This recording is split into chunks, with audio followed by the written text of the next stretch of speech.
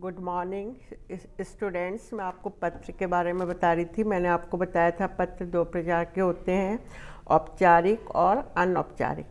अनौपचारिक पत्रों के बारे में बताया था, जो हमारे सक्के संबंधियों को, मित्रों को, दोस्तों को लिखे जाते हैं। और औपचारिक पत्र जो हमारे रिश्तेदारों को नहीं लिखे जा सकते।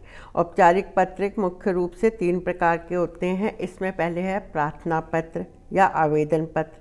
जो प्रधानाचार्य मुख्य अध्यापक को प्रार्थना पत्र लिखा जाता है। नौकरी के लिए आवेदन पत्र लिखा जाता है। दूसरा है शिकायती पत्र।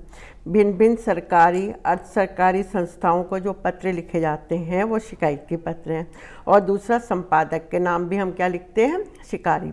शिकायती पत्र लिखते हैं। तीसरे व्यवसायिक पत्र, जिसमें प्रार्थना पत्र, आवेदन पत्र। इस प्रकार के पत्रों को लिखते समय हमें ध्यान देने योग्य बातें हैं कि यह पत्र प्राय प्रधानाचार्य, मुख्य अध्यापक किसी उच्च अधिकारी को लिखे जाते हैं। अतः इसमें शिष्टाचार का प्रदर्शन किया जाना चाहिए।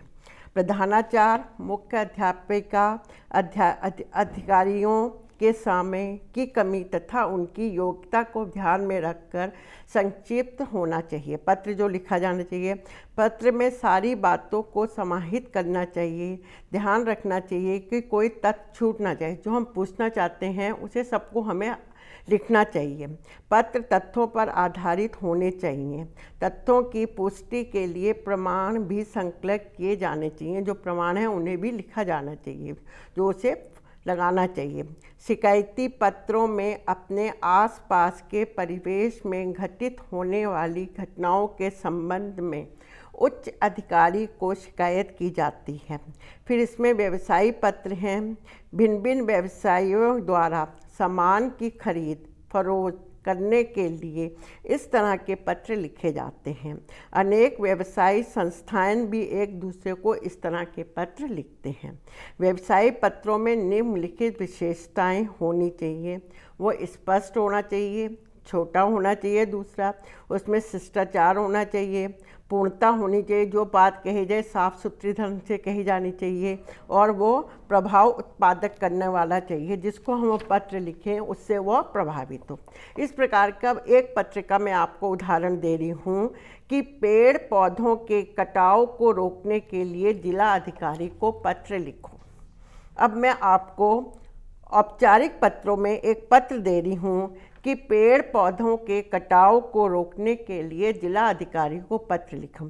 तो इसमें सबसे ऊपर आप अपना एड्रेस लिखेंगे। परंतु आप परीक्षा भवन में बैठ के पत्र कर रहे हैं तो इसके ऊपर आप लिखेंगे परीक्षा भवन सहारनपुर। फिर श्री युक्त जिला अधिकारी, क्योंकि ऊपर दिया हुआ है, जिला अधिकारी को लिखना है सहारनपुर। उसके बाद आप लिखेंगे विषय। अनौपचारिक पत्रों में विषय नहीं लिखा जाता। इसमें हम विषय लिखेंगे।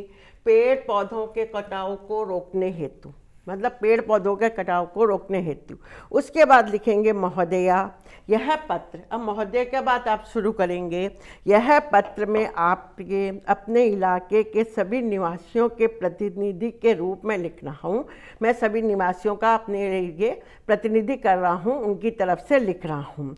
हमारे इलाके में इन दिनों चारों ओर मकान बनने का काम शुरू हुआ है।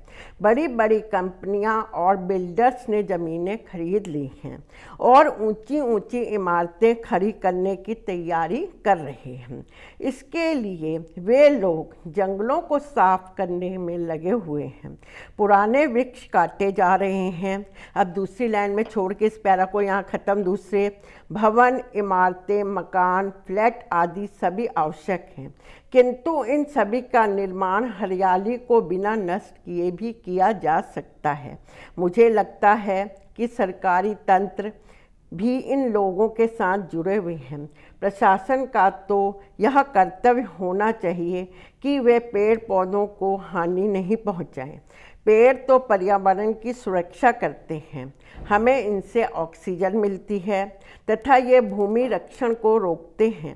पेड़ पौधों की कटाई को दंडनीय अपराध है। आशा है आप इस संदर्भ में इस तरह का निर्णय लेंगे, जिससे पेड़ पौधों की अंधाधुन कटाई को रोका जा सके। उसके नीचे आप लिखेंगे सधन्यवाद भवदीय क्या क्या है? उसके बाद दिनांक लिखेंगे। औपचारिक पत्रों में हम अनौपचारिक पत्रों में हम ऊपर दिनांक डालते हैं डेट पर औपचारिक पत्रों में हम नीचे दिनांक लिखेंगे और इस तरह से आप औपचारिक पत्र लिखेंगे। कल मैं एक आध उदाहरण आपको बताऊँगी। आज ये आपके पत्र यहाँ पे ख़त्म हुआ।